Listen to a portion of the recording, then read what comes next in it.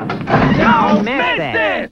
World premiere Toons! a brand new cartoon every single week, created by some major Toon talent, like Bill Hanna and Joe Barbera, the guys who brought you the Stones, the Jetsons, and Scooby-Doo. Then there's heavyweights like Ralph Bakshi, creator of Cool World, and new guys like Craig McCracken, who's making his first tune ever. The top Toon talent on the planet is coming together to make world premiere Toons! Catch every one of them every Sunday night at 7 on the best place for cartoons, the Cartoon Network.